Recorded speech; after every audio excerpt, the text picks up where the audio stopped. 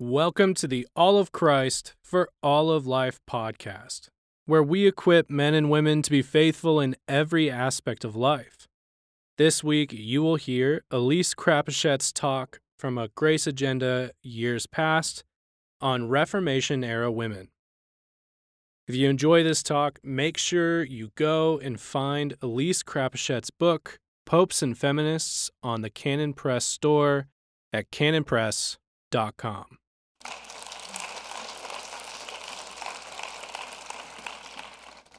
Well, hello, and thanks so much for letting me come and talk to you. This is a subject I really enjoy, and so I'm pleased to get to talk to you. I'm going to talk about the situation that women found themselves in at the advent of the Reformation, and then how the Reformation changed their situation, and also how they contributed to the changes the Reformation brought. The point of telling you about this is to encourage you because I think sometimes we see our society and the all pervasive feminism and the way that our society hates God and hates authority. And it can be discouraging, but we can look at it and know that God used women in the past in their mundane and simple duties as part of his battle plan. And I think that he can do that and will do that again. As you know from Becca's talk, and probably just in general, the Catholic Church was pretty corrupt in the 16th century. Um, Becca talked about Alexander and Leo. There's also Julius in there. Leo the tenth was, um, as Becca noted, a, a homosexual. He was also really given to entertainment.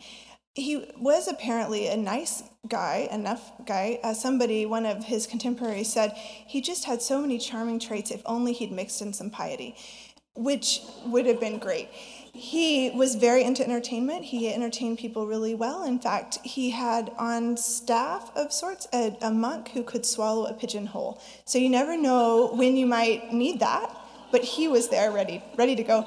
And he also, this guy could eat 40 eggs in one sitting. So that's the kind of thing that you might need as a pope so you know it was a really corrupt situation. It was also, I, and I think this is hard for us to grasp, perhaps, how all pervasive Catholicism was from birth to death. Your marriage, your life, your eternal life, everything was was wound up with the Catholic Church. They governed that, and even in your daily life, what's the biggest building in your city? It's the cathedral. So that it it was oppressive in the sense that here you have corruption and something that's not bringing light and life, and at the same time is everywhere, and you can't escape it.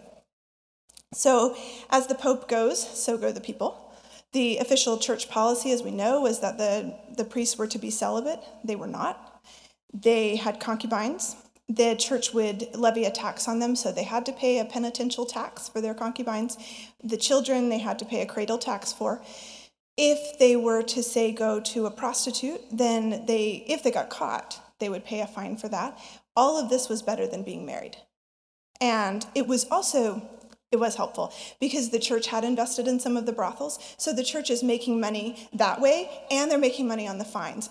It's great because if you have popes who are getting into a lot of personal debt and then you can make this money in such a great way, um, you really, you're solving some problems. So there were priestly dynasties that would continue for multiple generations. Now, obviously, that shouldn't have happened, right? Because they shouldn't have had children. The lay people were grateful for the, the concubines because it kept the priest away from their wives and daughters. So uh, there was a popular saying if you wish to keep your house pure, leave the clerics and monks at the door. Uh, Martin Bucer noted in the places where the Christian Reformation had not yet been accepted, if one should ask who is the most frisky and lecherous person in the village, every honorable human being would point to the priest. So, all right, I think we get it. It was bad news. According to the church doctrine, so you have this practice that's just horribly corrupt. And then, according to the church doctrine, the only really holy people are the priests and the monks and the nuns. And incidentally, sometimes the convents were more like brothels. That isn't great either. But, um, what you have is all these people that are supposed to be living the contemplative life. They're supposed to be holy. They're supposed to be more righteous than any average layperson could be, and yet they they live in such a way that's not as all at all uh, reflecting that. The Catholic Church taught that work was debasing, it was demeaning, it had no lasting religious significance. So if you wanted to be holy, you needed to join the cloister. You need, and that, by that I mean everyday work, you know, the things that normal people do. If you wanted to be really righteous, you go and join a convent, you become a priest, you join a monastery. A lot of nuns were actually forced into the convents by their families. Sometimes the parents would die, and the relatives thought, we don't want to share the inheritance.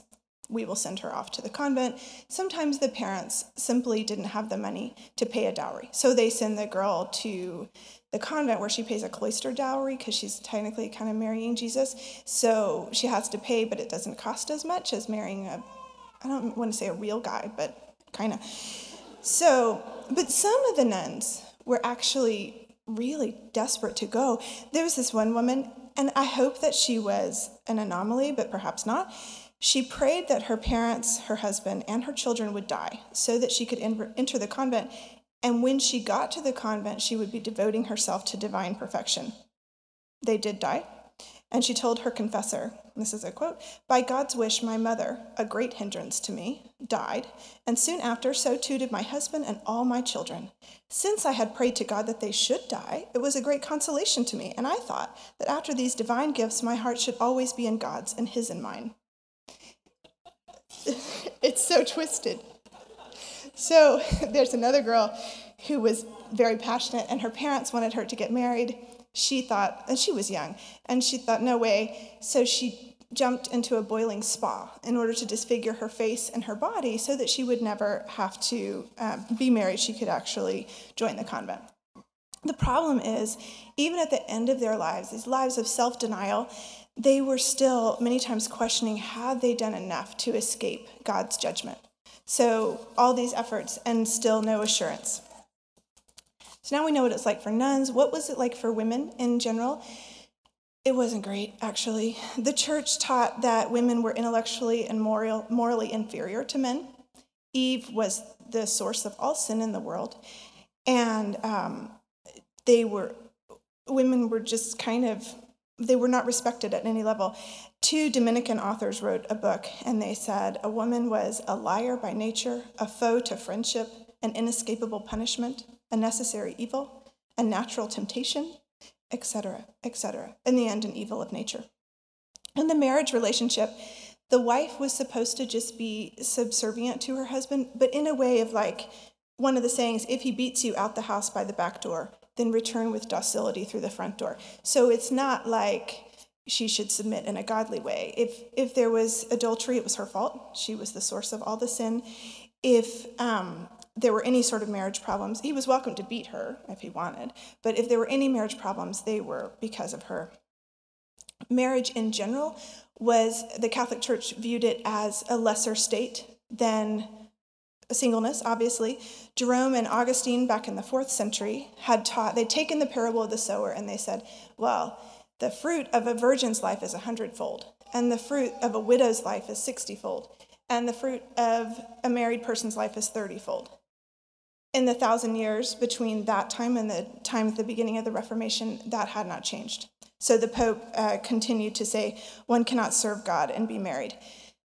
This was not just a view of the popes, this was actually also um, shared by the populace. So there were some sayings like, if you get a wife, you get a devil on your back, or brief is the joy, lasting the bitterness. So marriage was not it, it wasn't respected. The reformers came along and they said, well, obviously we know what they said about a lot of things, but one of the things that they said was all vocations are lawful. And not only are they lawful, but if you are doing something in faithfulness, no matter what it is, how small it might be, God blesses it. He sees it, He loves it, He honors it. Salvation cannot be gained through what you're doing, through whatever your vocation might be they extended this to women. They extended this to wives and mothers. This is a complete about face in common understanding and in theology, and almost hard to grasp. They thought that women in their daily tasks were bringing glory to God. Martin Luther said the Christian faith opens its eyes and looks upon all these insignificant and distasteful and despised duties in the spirit and is aware that they are all adorned with divine approval as the, with the costliest gold and jewels. These are truly golden and noble works. So, as a result of these teachings, good homemaking and women who were focused on their homes and who cared about their families and who tried to raise up godly children diminished this widespread ridicule of women. They turned it around. Reformers also, their doctrine of women was totally different. So they started saying, hey, you know what? Women complete creation. Without a woman, we are lacking. We have chaos, actually, without women. Luther says that if you depict women as sources of temptation and wickedness, that borders on blasphemy.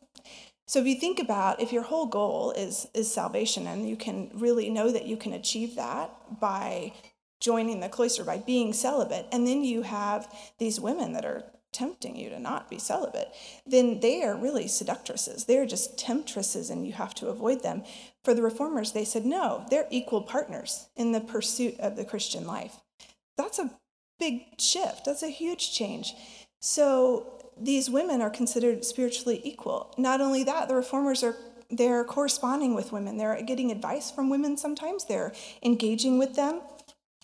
They treated, they honored women in the way that they interacted with them.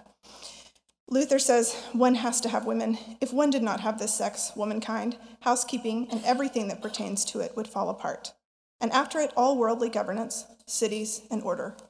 In sum, the world cannot dispense with women, even if men by themselves could bear children. And kind of everyone agreed. So, God used these men and women who embraced these doctrines to turn European society on their heads, on its head. Um, so, obviously, without the reformers, you don't have a reformation.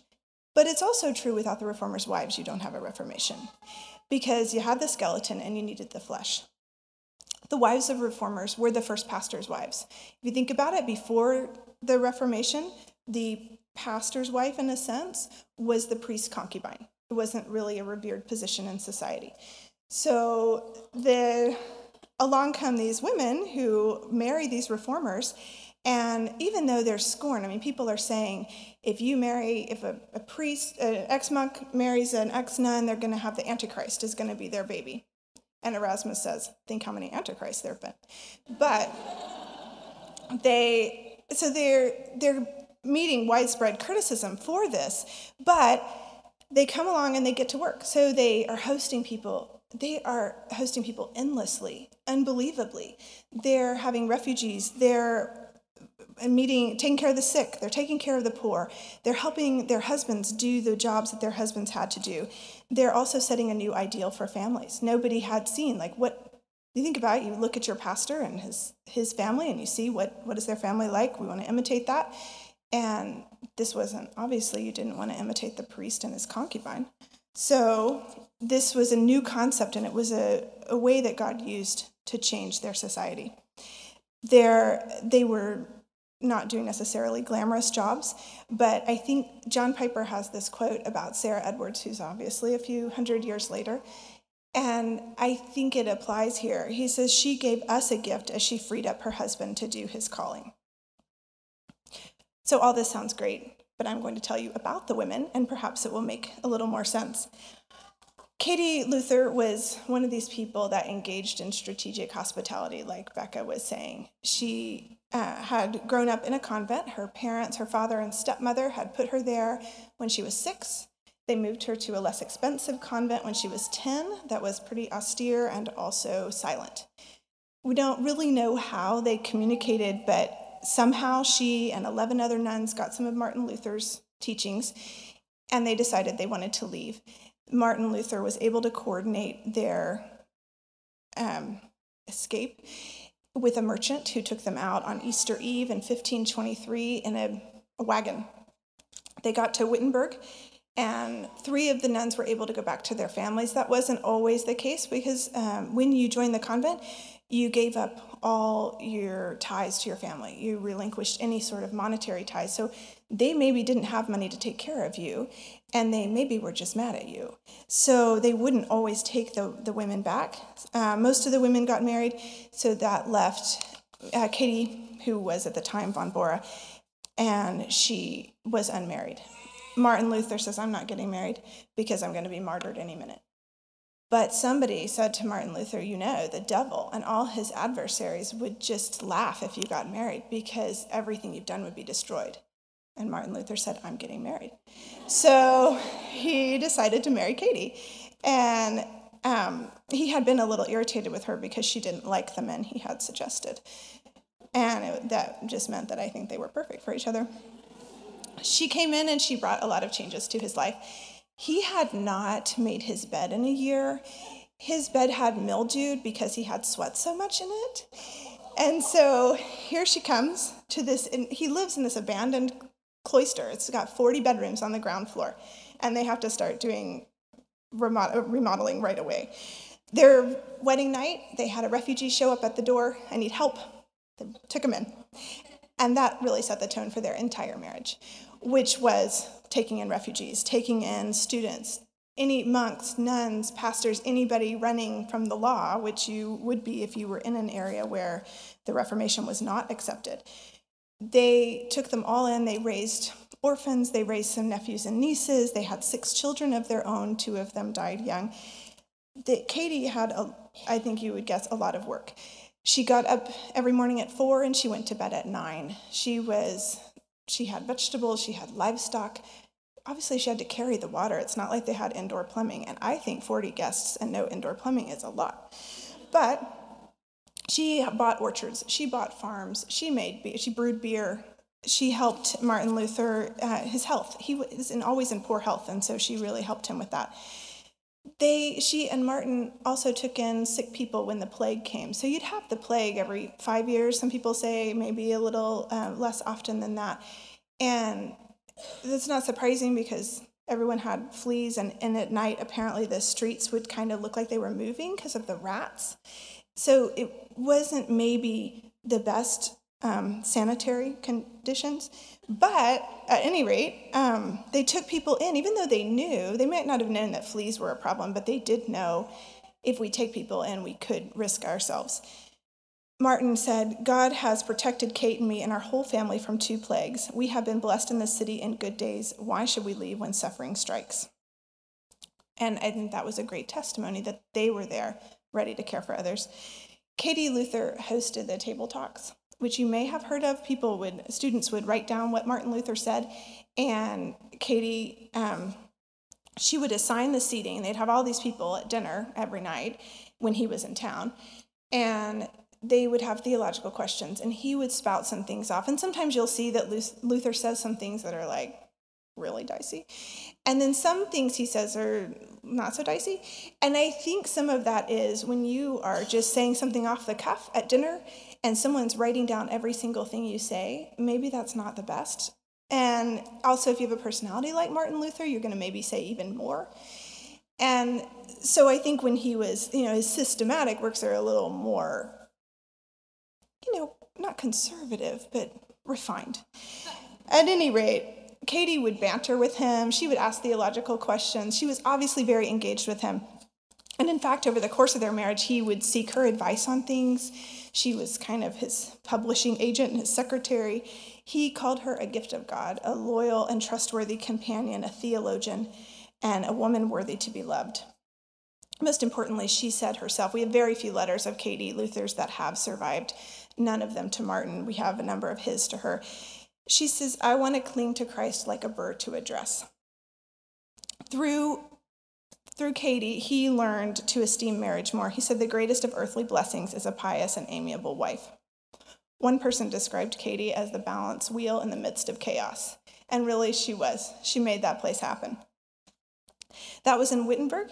In Strasbourg, we had Martin Bucer and his wife Elizabeth. He was a former monk, monk or nunc, and she was a former nun. And they, um, she had been put in the nunnery of not, uh, she did not want to go. But she had left because she wasn't getting a good education and she was sick. He became reformed when he, or became a Protestant when he had contact with Martin Luther. So Elizabeth Bucer was another really hard worker. She, in 10 years, she had eight babies. She had three miscarriages.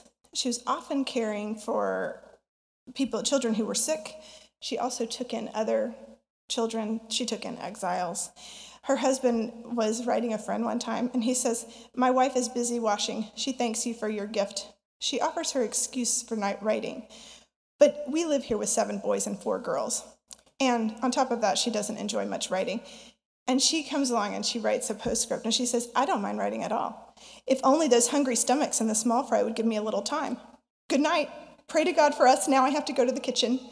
Which is just such a perfect, like, yes, that's what her life was. And she says, she, he described her as humble, as honest, as willing to give him advice or admonition when he needed it. There was, uh, obviously, they had so many people coming to stay with them. At one point, they had a Catholic theologian coming who was, uh, you know, did not agree with them being married. But he says, he wrote Martin Bucer, and he said, I've witnessed your family in Strasbourg. Your household was run very decently. Your wife is modest and diligent. Your children are as good and well mannered as one could wish. If the church laws were no longer in force, I would have no objections to your marriage. He says many people have already had the privilege of enjoying your hospitality. Acquaintances, friends, and strangers all move in with you. So you really need someone to take care of your household affairs. Who would not see that you, who do so much for everything and are overloaded with all kind of work, could not keep this up without your wife? It was obvious to his opponents, to Martin Bucer's theological opponents, the wife makes this go. And without her, it doesn't happen. And, I, and Martin Bucer knew that himself as well. He actually described her after she had passed away as he said, by her diligence and dedication, she so wisely applied and distributed the material income, which was surely not overabundant, that we were able to render far more service to pilgrims and servants of Christ than I ever would have been able to do had I remained single. In 1542, the plague came to Strasbourg. Martin Bucer, well, they, the Bucers would not leave Strasbourg, which is more correctly, he would not leave the, his congregation and she would not leave him. She and five of their children died. Two servants and a student from abroad also died. So, hours before her death, she realizes obviously, I'm going to die. Um, her husband, by the way, Martin Bucer, was this amazing matchmaker, constantly trying to get people married. And so, in a kind of a sad way, she imitated him. So she calls her friend, whose name is Wibrandis Rosenblatt, which is sad on its own. So Wibrandis's third husband has just died, and and so it, he's just died the day before. She can't come out in the day in daytime, so she has to come at night because it's not proper to be seen in the daytime when you've just your husband's just died. So she comes over, and Elizabeth says, "You two are going to need spouses, and I think this will work out." And Martin just starts; he's just crying. And Wibrandis is already, this is her third husband that's died, and Martin Bucer's going to die on her later on. So the poor woman, she'd had a, a rough go of it. But they end up getting married, and they had a little, what you might call a prenup, but it says, We're getting married for the furtherance of the gospel and the upbuilding of the Christian church. So I think it's like not a modern prenup. So I wish I had time to talk to you about Wibrandis because she was a good woman who did a lot of hosting and a lot of just a lot of great things. But there's only so much time. So these are obviously, I've been telling you about reformers' wives in order for the Reformation to be successful, you need people who aren't just wives of the pastors. You need women all over the society. And so, what we have next, I'm going to talk to you about a few of those. Olympia Morata, who was born 13 years after Julia Gonzaga, and was kind of similar. I think that was a thing to have these really intelligent women, and everyone loved them until they got married, and then they didn't know what to do with them sometimes. But Olympia Morata was fantastically brilliant. She became fluent in Latin and Greek within a couple of months of beginning to learn them. At 14, she was considered the most learned woman in all of Europe. So she comes to the court of uh, Rene of Ferrara, and she's going to tutor Rene's daughter. She's lecturing on the classics. She's smitten with the classics, in fact. Rene has Protestant leanings, though. So Rene has Calvin come through her court. But Olympia does not care. She doesn't care about the Bible. She doesn't care about anything. She just cares about her classics. And incidentally, even her modern translators are shocked by her. They said the way that she wields the Latin language is phenomenal. And they said her allusions, the, the person who was translating her was like, I've tried to put in the ones I could, but I know there are so many more that I missed. So it, it, she was just even now considered a very impressive woman. She ends up leaving the court because her dad's sick. Her dad converts to Protestantism in this time. She converts, and then she's not welcome back at the court. If you will convert back to Catholicism, we'll have you, otherwise, you're out. She said no. And this was a hardship for her. She ends up living with her sick mom and her four siblings. But she says, if I had remained any longer in that court, it would have been all over for me and my salvation. So she was grateful. A guy named Andrew Gunther, Gunther comes along. He's a medical scholar, and he comes to some lectures in Italy. He admires her from afar. Then they fall in love.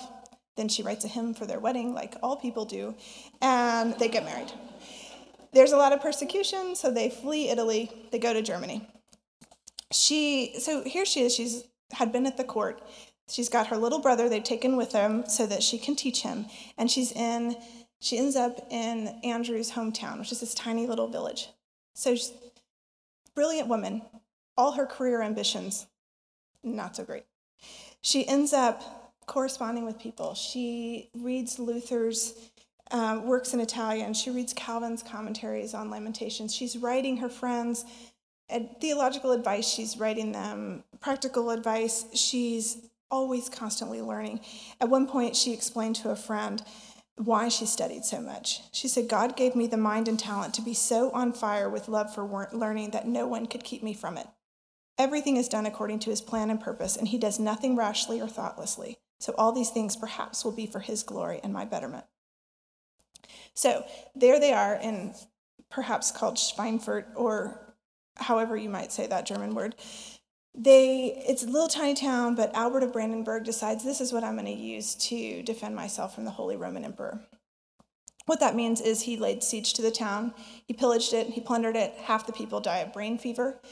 Olympia and her husband and her brother are living underground for three weeks when in a wine cellar just to try and escape. So when he decides i'm done i'm surrendering you'd think, great, then we can have our city back. Not so much. The Holy Roman Emperor's troops come in and they're going to burn the place.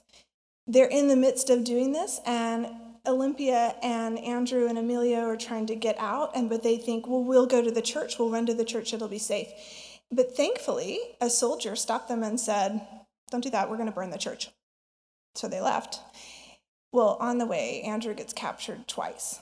And then his captors realize both times, hey, he has no money, they don't, they let him go.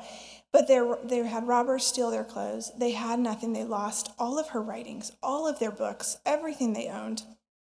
And they have to run 10 miles to the next village at night, barefoot. So Olympia, this is obviously wretched, but she writes a friend and she says, telling her about well, all this, this has happened. And she, but she's comparing it to her life in the court uh, with Rene de Ferrara. And she says, In all these evils, we have relied on one solace, the word of God, by which we sustained ourselves, and because of which I have not looked back to the flesh pots of Egypt. That's the court, but preferred to seek death here rather than enjoy all the pleasures of the world somewhere else. They ended up being um, taken in by a Count and Countess, and Emilio ends up turning to the Lord at this point.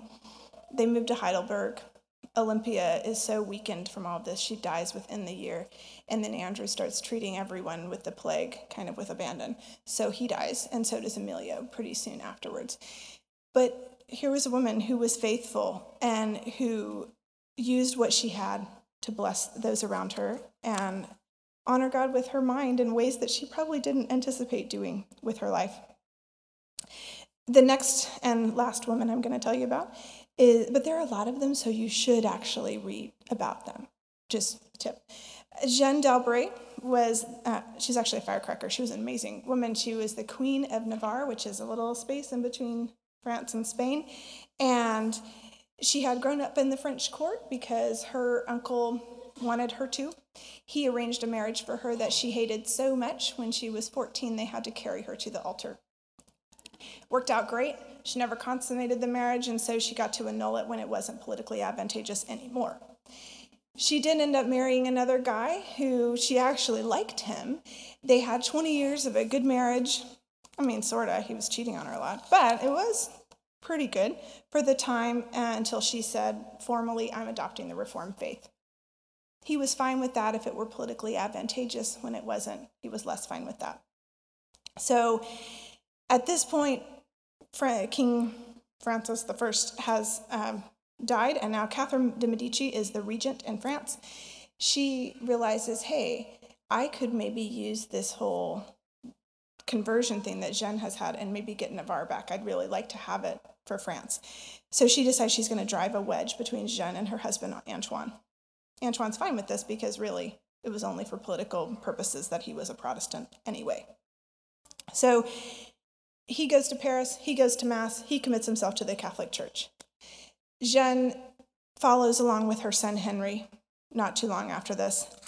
And Antoine says, Well, I'm going to divorce you or permanently imprison you if you don't go to Mass. She says, I'm not going to Mass.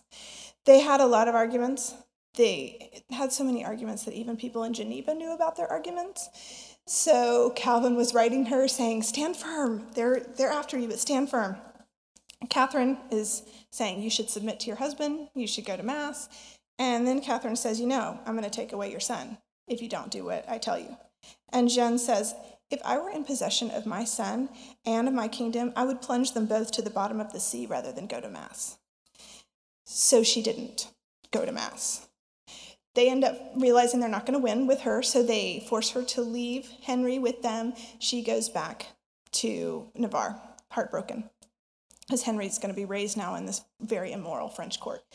So Antoine dies after a number of years. He says, Oh, if I'd only lived longer, I would have subscribed to the Augsburg Confession, which was the Lutheran confession. Maybe, maybe not. But she, after this, she abducts. If you can abduct your own child, she did that. Uh, took him from France and rode on horseback through the night to her kingdom, and then she raises him up. At, just to give you an idea what kind of ruler she was, she made such these economic and judicial reforms that they were still in place 200 years after her death. She was a very intelligent woman, and she was the highest ranking French woman ever to become a Calvinist. She had she started a seminary she translated the bible into the uh, basque language she translated the genevan catechism she studied on her own she was a very intelligent and inspiring woman for her people when her husband had died, she, the king of Spain, who was clearly Catholic, uh, Philip said, "Oh, I'd like for her to marry one of my sons." This is just a little side story and has nothing to do with her reforms. But uh, she says, No, I'm not really interested. But she had to kind of go through the negotiations. I don't know why, but that was the way. So he says, Tell you what, you're going to marry my son and you're going to give up your Protestantism and you're going to change all your policies. And she says, I am just a little princess. But God has given me the government of this country, so I may rule it according to his gospel and teach it his laws. I rely on God, who is more powerful than the king of Spain. Philip II was totally unimpressed with her. He responded, This is quite too much of a woman to have as a daughter in law. so he says, I would much prefer to destroy her and treat her as such an evil woman deserves. They didn't get married. The Catholic Church was obviously displeased with her. They ended up excommunicating her and she really couldn't have cared less, I think. She remained a faithful leader for her people until she died right before the St. Bartholomew's Day massacre in 1572. She actually anticipated that something really was afoot. She knew, hey, this marriage is there it's very treacherous. I know something's wrong, but her advisors were not really listening to her. And at this point she's quite weak. She's been through quite a lot in her life, and so she ends up um, thankfully missing what a disaster that was uh, but she kind of knew. So, those are just a few little examples. We can, um, but I think if you look back and you think about the society, how it was in pre Reformation Europe, and then you look at these women, you might see that there are some parallels between that society and between our own society. So, do you think about the all powerful nature of the Catholic Church and how pervasive it was? The corruption and the sexual promiscuity of everyone, including and especially the leaders of society, and the disparagement of marriage and motherhood. We see this in our own society with the feminism and the feminist movement. And a lot of faithful Christian women have been lured off course because we've forgotten these stories. We've forgotten that, you know what, it turns out there's nothing new under the sun, that these sins are not new, and we don't have some, the feminists don't have some special corner on wisdom. It's just plain and simple repackaged kind of popery, which is not great. Um, when you see this widespread disparagement of women that we saw in the Victorian era, that we saw uh, in the 40s and 50s, Christians had an opportunity to stand up and say that's not what the Bible says. And they didn't in the ways that would have been necessary. Feminism won the day. Feminism said what we need is to grasp equality. What we need is to have the exact, to be like men. We are becoming the men we wanted to marry, in fact, Gloria Steinem said, which I think has no imagination, I'm just going to say. They said that women would find personal fulfillment and respect, and their lives would be so wonderful. If you could read what Margaret Sanger says about birth control, do you know the kind of utopia that was going to come if people could just use birth control? I'm waiting. Anyway, they they pretty much just imitated men instead of actually saying God has given us something to do that is good and righteous and he uses as part of his way of conquering the world. We you can see that wives and mothers were essential to the success of the reformation and i think they will be essential to our success today.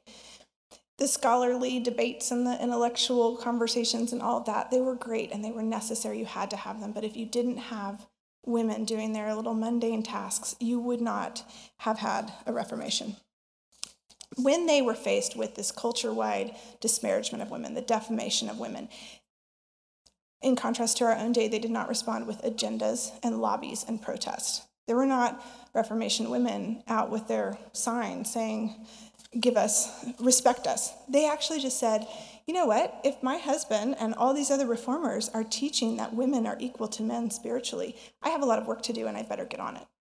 And I think that's very encouraging. And when in the first way that they started with their work was scripture. If you are going to leave a convent for you don't know what, you better know that at least you're doing the right thing. So you have to know enough scripture. You had to have studied scripture enough on your own to know this is true. What this Martin Luther guy is saying is right. When you read modern, don't. But if you were going to read modern feminist historians, you would find that they think, oh, those poor women, they left the convents when they could have actually had this all female religious experience. And I think they should spend some time in a sorority house because that is what it was like, only more regulated, and you could never leave. You're just stuck with these women all the time. So, women are great, but they need, you know, men. Anyway, as it turns out, when you watch what these nuns did with their lives, you don't think, oh, they were so sad they left the convents. Like, what a sadness that they couldn't have all female religious expression or be in authority over men or something like that. They said, hey, let's get to work and let's teach our daughters to do what we're doing. And let's take all the things that we learned, all the education that we gained, all of the skills that we gained of feeding a lot of people in a convent, and created something beautiful. They took the tools that God had given them in their lives wherever they were and used those to establish the Reformation with their husbands.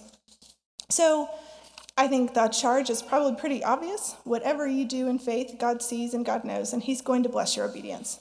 God has taken in the past, and He'll do it again, little acts of obedience and faithfulness, and He uses those to shed His light on a dark world. So we see that these women, they loved their children, they loved their husbands, they opened their homes, they served the needy, and they clung to Christ, whatever their stations, whether they were wives, whether of faithful men or wives of men who were less than faithful, or widows, or whatever they were, they changed the course of history with their obedience. It was not just a blessing for their generation, it was a gift to us. And I think we have the opportunity to give a gift to future generations. Thank you.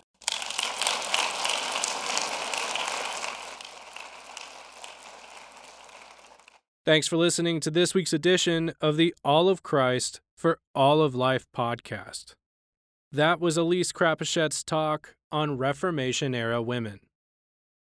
If you enjoyed that talk, please find Elise's book, Popes and Feminists, on the Canon Press store or on Audible.